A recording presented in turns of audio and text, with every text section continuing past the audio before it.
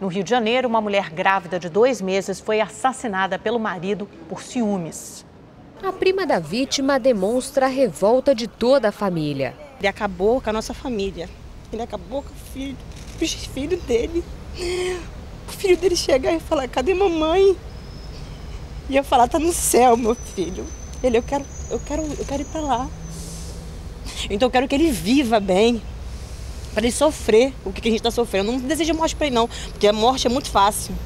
Simone da Silva, de 25 anos, foi morta asfixiada na manhã desta segunda-feira, dentro de casa, pelo próprio marido. Eles estavam juntos há 10 anos e tinham um casal de filhos. O crime aconteceu na frente do menino, de apenas 3 anos. Anderson da Silva, de 28 anos, se entregou e confessou o assassinato.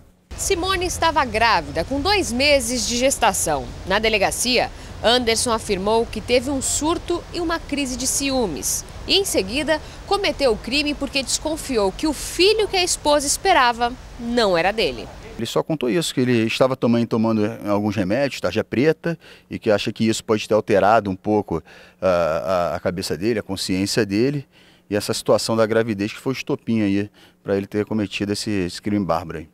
A tia de Simone não acredita nessa versão. Ela afirma que ele sempre foi agressivo com a sobrinha. Ele matou por crueldade. Não era a primeira vez que ele ameaçava ela de morte porque os vizinhos escutavam quando ela pedia socorro, mas só que quando a gente chegava até ela, ela não, não falava. Anderson vai responder por feminicídio e aborto, penas que podem chegar a 40 anos.